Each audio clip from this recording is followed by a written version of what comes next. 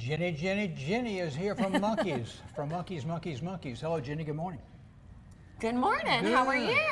Good. Yeah. I asked about you yesterday. Where the heck's Jenny? Uh-huh. I said I'm coming. I'm That's here. what she said. She had to get all the new loafers and new fall All gear, the things. girl. I'm like, I'm loving I what I'm know seeing. it's so hot outside, but we are like stocked and ready for fall. Well, it's getting Tomorrow- cooler. though. So last week when I was in there, I got two sweaters Oh, yeah. because you know I was like, wait, fall is coming. Fall next is here, and honestly, like Thursday. sometimes certain things like that, like if you don't get them now, Oh, I know, I've learned. they're gone. Uh-huh. Um, but it's always so fun to transition into a new season, um, especially when there's lots of newness, and I feel like that's where we are this season.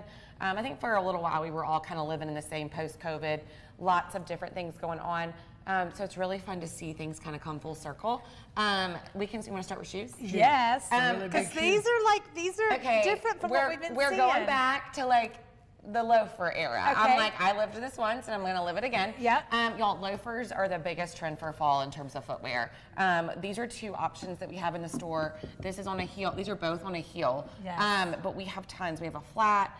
And it's kind of all about a chunky loafer. It's- Okay. There are some sleek loafers, but it's definitely more of the Very chunky loafer. 90s. We are very 90s. We're very 70s, kind of like they're uh-huh. mixed two together. But notice the, you know, going back and looking at the It's the penny penny loaf. loafer Yeah. effect. Well, and uh-huh. I think there's all different takes on it. I love this one. This is that Soft Waves brand that everybody loves that's so comfortable. And they've got this beautiful ornamentation on the buckle. And then even if you look at this really closely, these are two-tone different Yes. soles. So this is brown and, black. this is black. So Well, it's you not can walk your- through heavy snow in that. and you want at their rubber suckers. bottom. And so it's not your just like typical loafer, um, lots of updated takes. And that brings us to another whole trend, which is menswear. Yes. So it is a big trend everywhere. I'll walk over here. You know, I don't I see it. kind of am wanting like just you know the, the people wear that just the one blazer. You gotta have that It's blazer. Kind of like I've sexy. always been a blazer girl, and it's one of my favorite trends.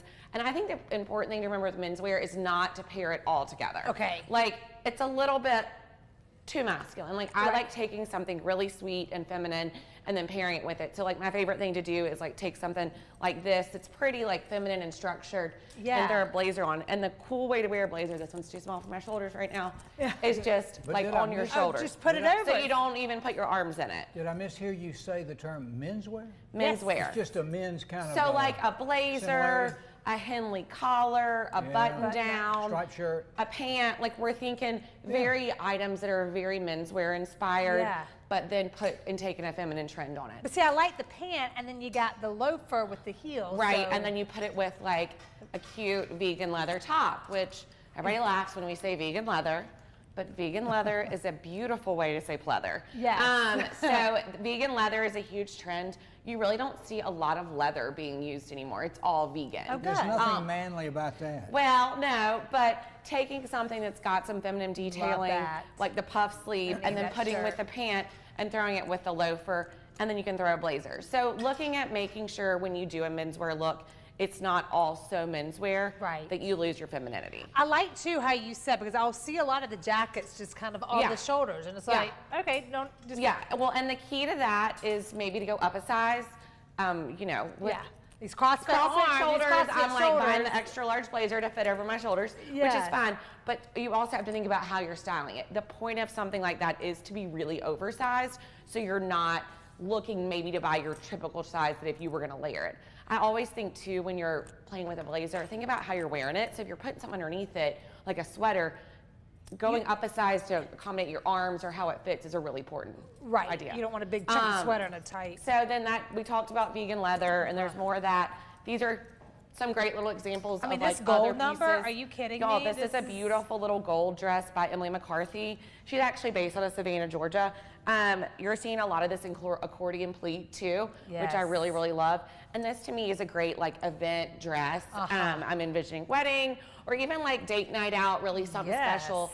Um, and then this is another little dress we Look at have. that. And it definitely has your little bit of your menswear take. So it's Uh-huh. like a button down front, like a button shirt, but it, in the collar, but it's got your puff sleeves, and you got a belt. That's another thing we're seeing a lot these days. You is wanna have a belting. waist. Is bringing back our waistline. I think also we were living in a very oversized, very printed gar- garment era, and we're kind of taking it back to where you could like see women's figure, which I know my husband is thrilled about. I'm sure most men are too. He's like, if you wear one more of those dresses that makes you look like you're in a house coat, we're gonna have a conversation. Like a You're like, tent. but it's comfy, Yes. it's comfy, baby, Um, it's comfy. And then another color palette that we're really digging, and we like to call it our cinnamon color palette. so love- lots of like browns and purples and tans and cognacs and reds and just kind of like not that black and gray aren't a thing because they are, they're always going to be, but you're seeing a lot more neutrals being done in the browns But. Jenny, this is love where I always ask, what's the location? We're located at 103A Augusta Street, right um, down the street from Gather. Um, we love to help. We've got everything from jeans and a t-shirt to a ball gown, and we like to, you know, meet our customer where they are. So Yeah. come in, let us help you, and feel your best. We love it, Monkee's. Jenny. So much fun. Thank you, babe. Love that skirt too, though.